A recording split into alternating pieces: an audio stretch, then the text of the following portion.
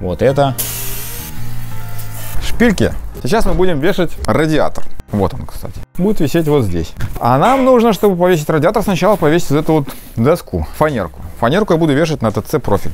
Это, можно сказать, наша так лаборатория, которую мы делаем постепенно. В общем, что я сейчас сделаю? Здесь у меня есть вот такие вот подвижные штуки. Я подгоню их. Их 4 штуки. Вот одна здесь, другая там. Шпильку нарежу нужные мне длины. И закреплю эту фанерку. После чего буду сюда вешать радиатор.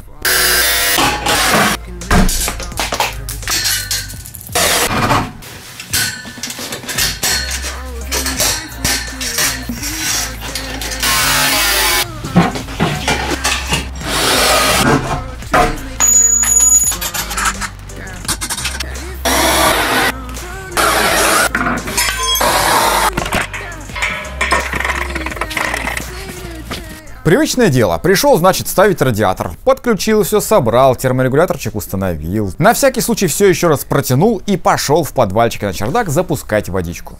Запускаю, прихожу, а из-под гайки течет.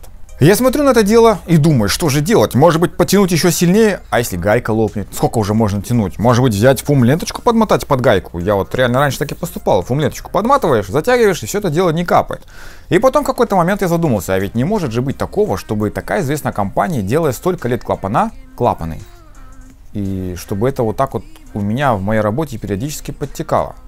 Значит, Наверное, я тугой и делаю что-то не так. Мне вспомнилась одна фраза из личной беседы с одним человеком. Она звучала примерно так. Нам кажется, что наш-то случай уникальный, и стоит нам только раскрыть рот, как тут же слышишь, а у меня также. К чему это я? Я обратился в компанию Danfoss, чтобы помочь разобраться в этом вопросе, что я делаю не так, почему клапан капает. И в ходе разговора выяснилось, что к ним тоже обращаются мастера с таким же вопросом, которые в первый раз сталкиваются с клапанами, где на американке нету уплотнительного колечка, где соединение латунь с латунью. В этом видео я расскажу, как сделать так, чтобы на стыке клапана Danfoss было сухо. Для тех, у кого нет времени смотреть, вы просто гаечку посильнее затяните и спите спокойно. А для тех, кто хочет разобраться, давайте расскажу.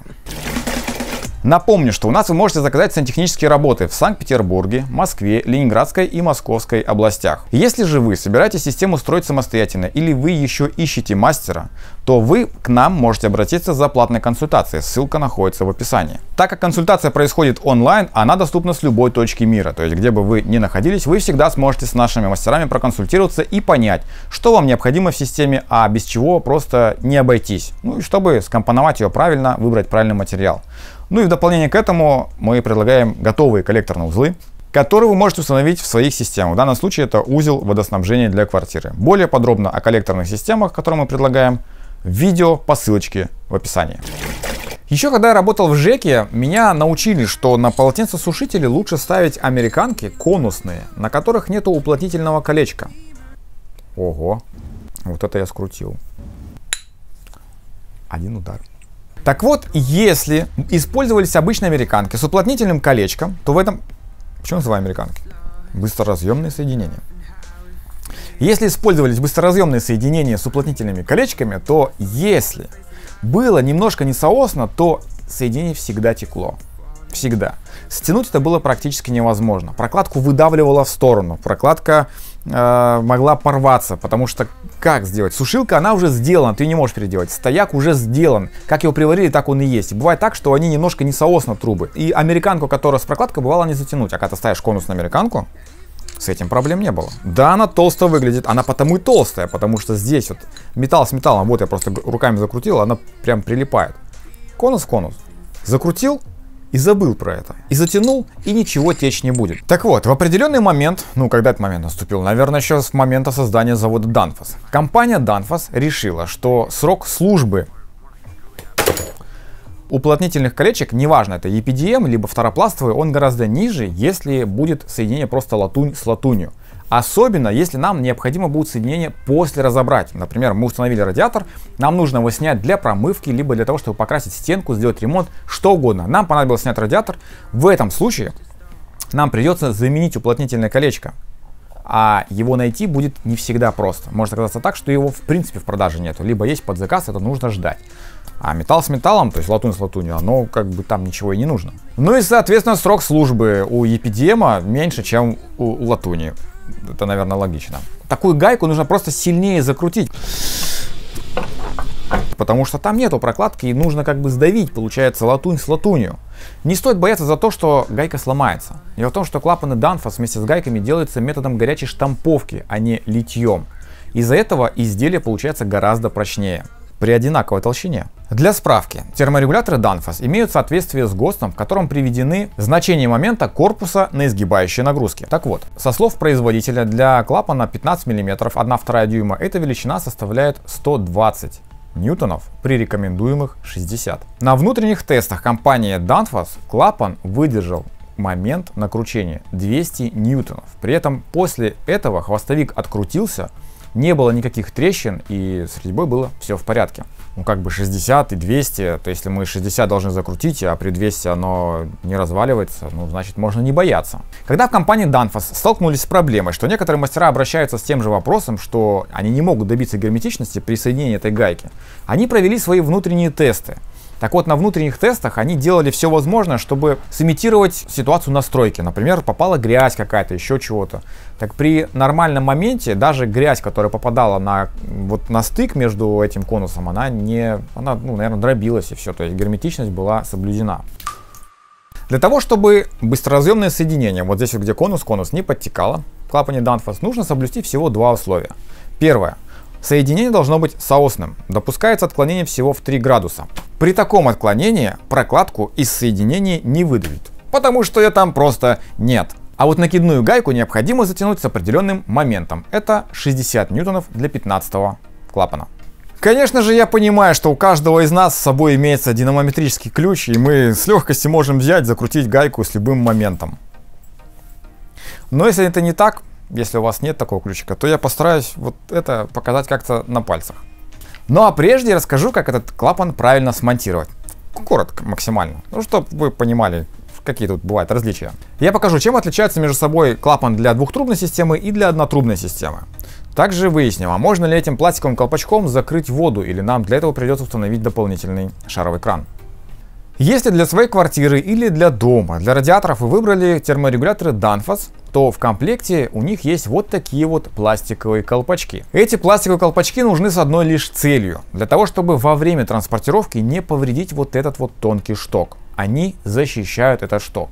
Конечно, его конструкция такова, что в принципе, наверное, можно и перекрыть, закрутить этот колпачок поглубже, и если у нас в частном доме, например, там давление небольшое полтора бара, то это выдержит. Это то, что я говорил, что вот этим колпачком можно перекрыть воду, если у нас давление маленькое. Как здесь сейчас просто вес воды и все. Вот воды, вода осадка стекает. Но это не рекомендация Danfoss, а это прокатывает в целом, это работает. Но вот если вы в многоквартирном доме поставили такой радиатор и вы решите пластиковым колпачком закрыть, пожалуйста, не делайте этого. Колпачок может сорвать давлением, вы зальете всю свою квартиру еще и соседей снизу, если они там есть, если там не подвал. Устанавливать винтовой хомутик тоже вариант, но если он соскочит, приятного будет мало. Поэтому самым правильным решением для клапанов Danfoss есть специальная запорная рукоятка. Как ее устанавливать и как она работает, я показывал в своем видео. Ссылочку на него я оставил в описании. Вам необходимо просто снять термоголовку и поставить вот такую вот штучку. Разница между клапанами для однотрубной и двухтрубной системы заключается в том, что тот, который предназначен для однотрубной системы отопления, имеет большую пропускную способность. Смотрите, вот угловой клапан Danfoss в разрезе. А вот так выглядит прямой клапан. На оба вы можете установить одну и ту же термоголовку которая будет нажимать на шток, тем самым регулировать поток теплоносителя так, чтобы поддерживать заданную вами температуру. Все, в этом клапане больше ничего нету. Если вы покупаете в магазине, то для двухтрубной системы это будет с красным пластиковым колпачком, для однотрубной будут с серым кла э, пластиковым колпачком. И их практически невозможно отличить, если не снять колпачок. Но когда вы покупаете, у вас с красным колпачком будут для двухтрубной системы отопления, с серым колпачком для однотрубной системы отопления. Давайте я сниму колпачки. Раз и два. Это у нас для, для однотрубной системы отопления. Вот это для двухтрубной. Видите, здесь вот есть. Оп. И вот так вот по чуть-чуть я могу балансировать. Все очень просто. Вот шток, который нажимается клапаном, термоголовкой. Внизу, естественно, только шток. Больше тут это не регулируется, ничего никуда не двигается. Первое отличие заключается в том, что для двухтрубных клапанов отверстие пропускное меньше, чем для однотрубной системы. Спросите, а чем прикол, собственно, с этими размерами? Все очень просто. Для однотрубной системы отопления нужно, чтобы чуть больше теплоносителя заходило в радиатор, потому что часть теплоносителя проходит через байпас. В двухтрубной системе отопления такого нету. Там весь теплоноситель заходит в радиатор. Ну как весь? Что-то по трубам продолжает идти, а что-то заходит сразу в радиатор. Так вот, чтобы вода не циркулировала по малому кругу, чтобы не заходил весь теплоноситель в ближайший радиатор, не возвращался к системе отопления, то есть к котлу обратно не возвращался, поток нужно ограничивать. Поэтому там отверстие сделали еще меньше. И к тому, что оно там уже маленькое, еще и добавили ручку балансировки. Вот ручка балансировки это второе отличие между клапанами для однотрубной и двухтрубной системы отопления. Преднастройкой регулируется количество поступающего теплоносителя в радиатор. Только регулировка здесь не ступенчатая, а плавненькая. Вот смотрите. Я прокручиваю ручку преднастройки, и проход постепенно становится уже. С одной стороны, так можно более точно настроить расход, с другой стороны, если сюда попадет немножечко шлама, отверстие не забьется. Нет, ну оно, конечно, забьется, там что-то застрянет, но для того, чтобы прочистить, достаточно будет эту преднастройку еще оборот сделать, прокрутить, чтобы дырочка полностью открылась, отверстие. И поставить обратно, где оно было. Все, клапан чистый. В случае, если бы в этом клапане были просто калибровочные отверстия, то есть, ну, мы ручку поворачиваем, там отверстие одного размера, на, на второе деление другого размера, то попадая сюда грязь, уже без разбора клапана прочистить не представляется возможным ну как разбор, его в любом случае нужно снять, не обязательно его весь разбирать, просто снять его систему придется. А здесь ручку прокрутил и обратно поставил на то значение, где было. И все, и дальше эксплуатируем. Не, ну если там карандаш прилетел, то ты уже ничего не сделаешь, но это не считается. Да, еще. От своих старших коллег я неоднократно слышал, что клапаны Danfoss радиаторов необходимо демонтировать еще до того, когда они будут смонтированы в систему потому что они обязательно забьются и система работать не будет. Так вот, скажу вам так, что все клапаны Danfoss, которые я смонтировал на системах отопления, центрального отопления, за те 12 лет, которые я работаю, ни одного прецедента я не встречал, даже с теми клапанами, которые были смонтированы до меня. Кстати, вот один из них. Совершенно случайно он оказался у меня здесь, где я снимаю, и я решил его показать. Этот клапан ну, абсолютно чистый. Он стоял на центральной системе отопления, внутри. Там нет никакой Понятное дело, что накипь какая-то есть, но грязи там нет. Так, чтобы он забился, такого нет. И шток прекрасно ходит. Душбометром нажимаю, очень легко. О, микрофон. Работает. В арсенале компании Danfoss есть интересный пример. В 60-х годах в районе Зарядье в Москве был построен большой гостиничный комплекс. И в 70-х годах он был внесен в книгу рекордов Гиннесса как крупнейший в мире. Так вот, для того, чтобы снабдить теплом каждое помещение этого комплекса, местные инженеры, советские тогда еще инженеры, прибегли к помощи датских инженеров.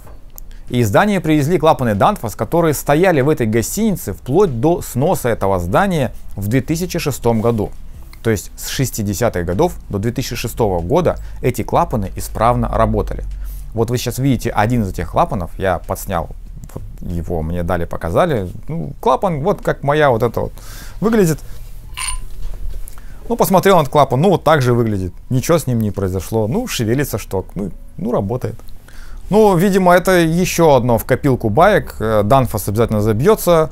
Латунный кран нужно ставить обязательно цельной стороной частью к стояку, что pH это зло для алюминия. Вот уже три каких-то мифа, которые непонятно на чем основаны. Дизлайки тут, помните, да? Не забудьте, пожалуйста. Вот тут вот они. В общем, для однотрубной системы отопления лучше поставить клапан для однотрубной системы отопления вместо шарового крана, потому что шаровый кран загоняет весь поток в радиатор, и вам будет слишком жарко. Придется открывать форточки. Открывать форточки это сквозняк. Ну, правда, воздух свежее, но все равно сквозняки можно простыть. Застудиться можно. А регулировать-то шаром краном нельзя. Получается, его можно либо закрыть, либо открыть. И будете постоянно вот так вот открыть, закрыть, жарко, открыл, э, жарко, закрыл, холодно, открыл. Это же неудобно. В моей практике, когда я работал в ЖЭКе, была тоже интересная история. Я пришел в одну из квартир, где мне попросили заменить все пять радиаторов. Я говорю, давайте мы поставим радиатор. Мы поставили алюминиевые радиаторы тогда. Центральная система отопления, алюминиевый радиатор. Ого-го!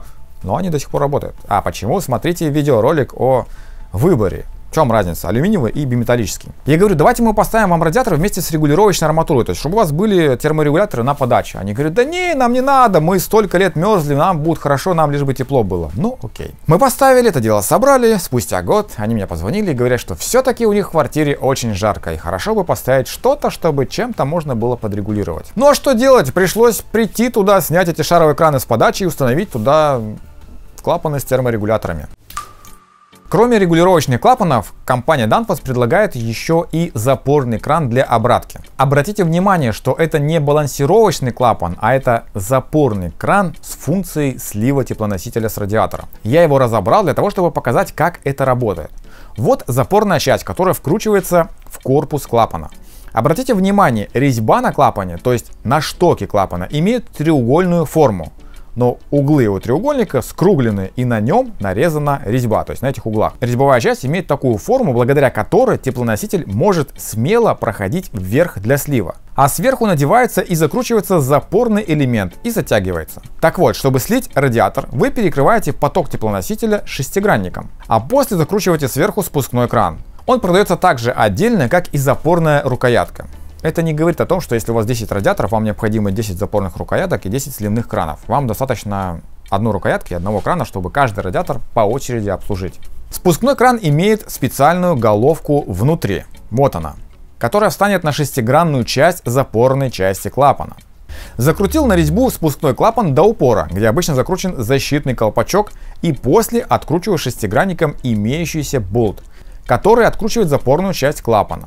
Его даже можно выкрутить, и все, что сольется, это содержимое радиатора, так как сам запорный механизм остался внутри клапана, и он перекрывает поток от системы. Для удобства слива теплоносителя вот этот вот запорный кран лучше установить горизонтально, вот этой вот крышечкой, ну, как бы параллельно полу.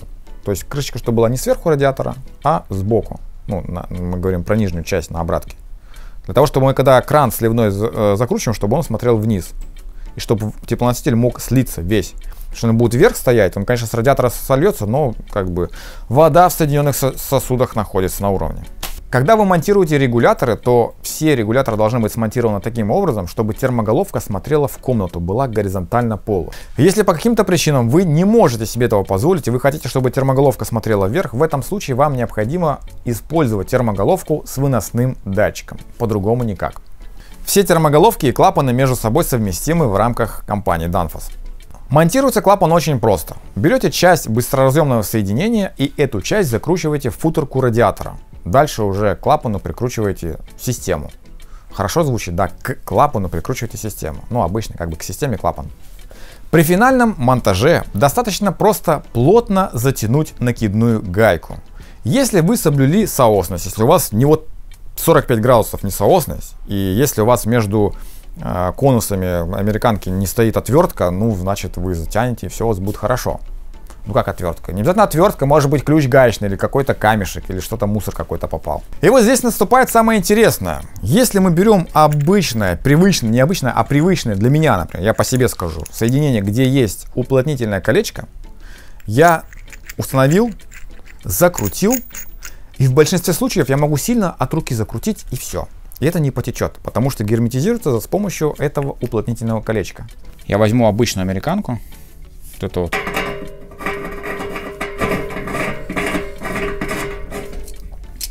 Конечно, для того, чтобы закручивать радиаторный футерки, есть специальный пластиковый ключ, либо ключ с пластиковыми накладками. Сейчас покажу.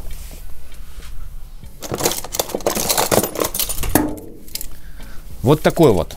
Вот ключ, вот пластиковые накладки. Для того, чтобы не было повреждений вот на этих вот э, лакокрасочных покрытиях. покрытиях. Но я не преследую цели сохранить здесь эстетичность. Поэтому я кручу в нагляк обычными ключами. Ну, как обычными. Какие есть. Теперь я возьму опрессовщик. Закручиваю опрессовщик. Смотрите, что я делал. Я просто взял это быстроразъемное соединение, закрутил от руки до упора. Вот, со всей силы закрутил и все. Сейчас я это подожму маленько. Накачиваю давление. Десятка. 10 бар.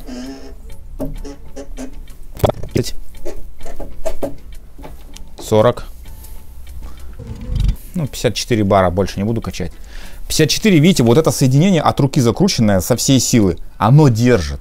Оно держит, потому что здесь уплотнением является уплотнительное колечко. Но когда я монтирую эти американки, я все равно немножечко подкручиваю ключом. Ну, чуть-чуть подтянул для уверенности.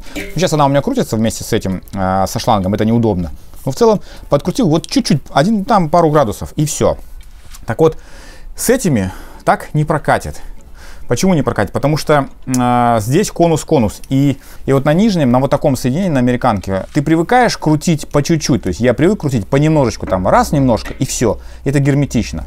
А здесь, наверху, когда ты крутишь таким же усилием, то возникает вопрос, а не сломается ли оно, если я сделаю еще сильнее, если закручу еще сильнее? Так вот, просто не бойтесь крутить. с одной стороны, кажется, с какой силой это тянуть? Можно было бы сказать, да тяни со всей силы. Нет, так не пойдет. Почему так не пойдет? Потому что, когда я был маленький, я был э, с одним человечком в гараже, автомобиль Волга 3110, и он менял заднее колесо. И, нет, не колесо, там, короче, колесо было снято, а в этой Волге как крепится колесо? Там не болтами оно прикручивается, а торчат шпильки с барабана. Я говорю, с какой силой затягивать? А он, видит, я малой, говорит, а тяни со всей силы. Ну, я со всей силы затянул и свернул две шпильки. Пришлось, естественно, там вот был уже головняк с этими шпильками. Поэтому со всей дури тянуть не надо. У компании Danfoss есть в инструкции указание, что для клапана 15 мм 1 вторая усилие должно быть 60 ньютонов. Для клапана 3 четверти усилие должно быть 80 ньютонов. Для клапана 1 дюйм усилие должно быть 100 ньютонов. Четыре клапана сюда я смонтировал для того, чтобы все четыре показать, с каким моментом они закручиваются и показать, чтобы, что тут нету течи. Конечно же, не нужны здесь, не нужно здесь только клапанов на один радиатор, достаточно одного. Смотрите, это у нас 3 четверти. Закручивается эта гайка с моментом 80 ньютонов. Сейчас я закручу ключом, как обычно я закручиваю американку и попробую передать ощущение. Ну, на словах только. Когда вы затягиваете гайку, естественно, нужно держать двумя ключами, чтобы не радиатор болтался вот так вот, а чтобы вы работали именно с клапаном. Вот. Хоп. Двумя ключами держите. Клапан держите и гайку клапана крутите, чтобы ничего никуда не свернулось. Вот она свободно крутится. Это я закрутил от руки для того, чтобы, ну, просто прижал. И потом ключом вот так вот делаю. Хоп, и готово. Сейчас я посмотрю, сколько это в ньютонах.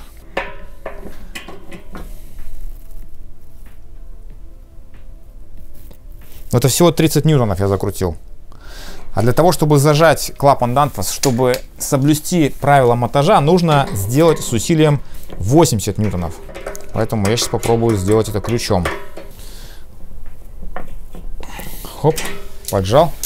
Сейчас посмотрю при 80 повернется ли. Я зажал очень сильно на самом деле. Так, повернулось. Вот, на 55 повернулась. То есть я с большим усилием сделал, но это еще всего 50 ньютонов. Попробую сделать ключом еще больше усилия. Посмотрю, как это будет. Каково это? Ключ 250 миллиметров. Держу 300 ключом, закручиваю 250. Я уже применил практически всю свою силу. Рычаг короткий, поэтому тяжело крутить. Еще повернулось 65 ньютонов. Попробую еще. Это уже 80 практически. В общем, трехчетвертную ключом 250 миллиметров я кручу по большому счету со всей силы и не боюсь сломать гайку. Держу и затягиваю. Хоп, оно такое, не то чтобы хруст, а такое тык-тык-тык, как бы чувств, чувствуется, что затянулось уже до конца. Ну, не до конца, а вот как, как бы со скрипом.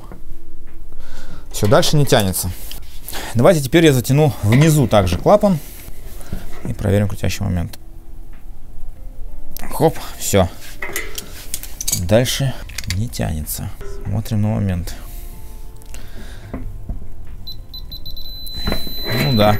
Для три четверти получается, что максимальное усилие, которое я могу создать, это будет то самое усилие, с помощью которого затягивается клапан 3 четверти.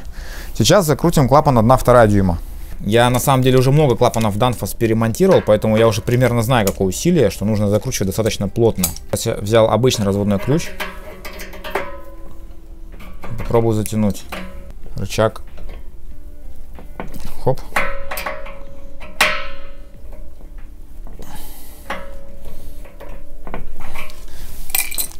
Я затянул практически со всей силы, дальше уже просто больно держать ключ в руке. Сейчас посмотрю, повернется или нет при 60 ньютонов.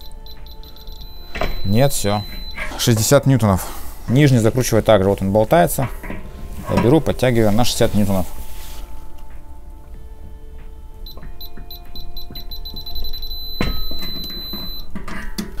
Закручивается на вот с таким вот усилием 80 ньютонов и 1 вторая 60 ньютонов. Но сейчас мне осталось это дело опрессовать, а после опрессовки я попробую, я, наверное, этот не осилю сломать. Динамометрический ключ сможет выдержать только, а, то есть он рассчитан только на 100 ньютонов. Я попробую 100 ньютонов дать сюда, не сломается ли гайка. А после я возьму два больших ключа и попробую в нагляк закрутить эти гайки со всей силы, настолько, насколько у меня хватит. И посмотрим, сломается она или нет. А потом то же самое сделаю с обычной американкой. Закручиваю сюда. Накачиваю давление. 10 бар. Включаю дальше. 20 бар. 40 бар. Полтинник. Так. Капля. Капает здесь, это не считается. Мы проверяем вот эти соединения. Вот это. Так, а здесь вырвало на 50 барах прокладку. Ее нужно будет сейчас поменять. А вырвало ее, потому что здесь должно стоять уплотнительное колечко, а я поставил плоскую прокладку. Ну, собственно, логично.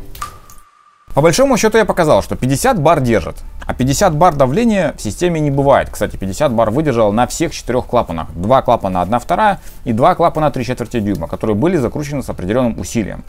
На самом деле усилие, которое требуется закручивать, с которым требуется закручивать там 60 и 80 ньютонов, это то усилие, при котором 100% не потечет. Но на практике требуется несколько меньше усилий, как правило, для того, чтобы затянуть и не текло. Все очень просто. Возьмите ключ и затяните посильнее. Я сейчас возьму мощный ключ Rigid накидной и вот этот вот симка 300 миллиметровый. Этими двумя большими ключами я попробую приложить максимальное усилие и посмотрю, хватит ли мне сил, чтобы клапан или гайку сломать. Потому что вот здесь на три четверти я крутил практически со всей силы ключом 250 миллиметров. То есть максимальное усилие, которое я мог создать. Сейчас пробую здесь. Держать на клапан. Так, я прилагаю максимальное усилие. Он просто больше не тянется. Просто вот реально одну вторую дальше сил нету крутить. Ну, не, не повернуть. Кран закручен наглухо. И гайка не сломалась, при условии, что здесь а есть зубы, ребра, то есть здесь гладкая поверхность, а здесь есть э, ребрение, из-за которого, по которому потенциально могу треснуть. Ничего не треснуло. Фу, попробую раскрутить обратно его. Еще раскрутить его теперь попробую. Раскрутил. С резьбой все хорошо. Здесь конус чистый. Ну, он просто остался, вот эта вот э, чернота немножко, потому что когда скользила, когда с усилием накручивалась. Но в том плане, что ни царапин, ничего такого, все идеально.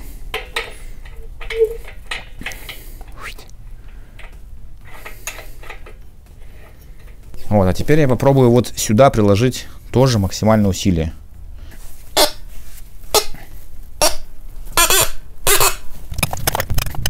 Так, что же крутится? Она продолжает крутиться. Ну, в общем, смотрите, она выгнулась. Э, вот здесь вот стало больше, здесь стало меньше. То есть она стала гайка вот такая вот. Расплющила ее, потому что здесь вот сжимается ключом. В общем, э, с конусом здесь все в порядке, а гайка стала не круглой. Она сжата вот с, с этой вот стороны. Здесь она больше. Ну, с этим попробую сделать то же самое еще разок.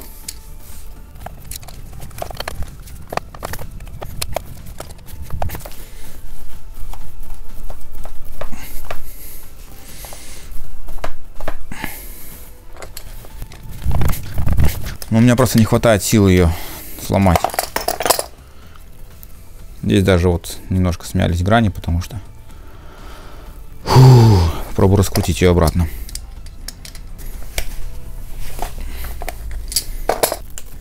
Смотрите, гайка осталась круглая. С конусом также все в порядке. Ну, с конусом понятно, видите, насколько он тут толще, мощнее, чем вот конус такой обычной американки. Здесь не нужно большое усилие, потому здесь нету столько металла. Здесь достаточно, вы видели, от руки закрутить немножко потянуть ключом. А здесь нужно просто затянуть сильно. Но только это имеет срок службы, прокладка EPDM. А здесь, ну, бесконечно это может работать, пока живет латунь. Вот и все.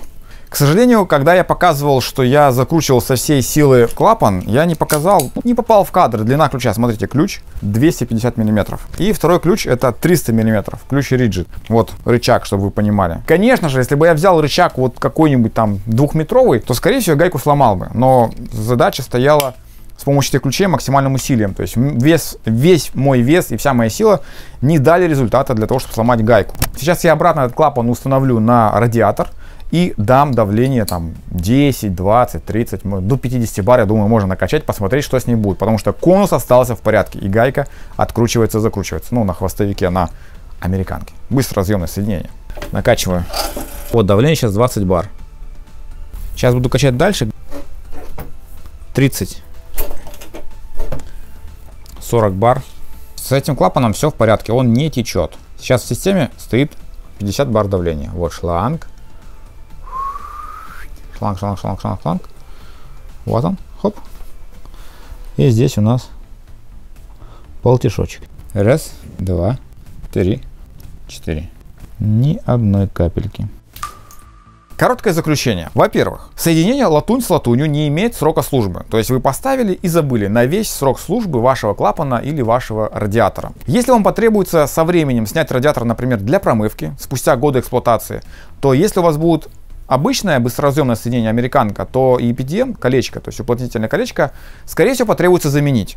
Если оно есть в наличии, хорошо, но вероятнее придется его где-то искать. А здесь, когда у вас используется латунь-латунь, то нет проблем. Вы разобрали и собрали это дело обратно. Ну и еще одна особенность, это несоосность. Если у вас немножко стык будет несоосным там, но до 3 градусов отклонения допускается, то вы соединение закрутите, стянете и у вас будет герметично. Если же у вас будет несоосность там, где есть уплотнительное колечко, то колечко при закручивании может выдавить. Я такие случаи встречал. Надеюсь, это видео для вас было полезным. На этом все. С вами был Артем. Пока.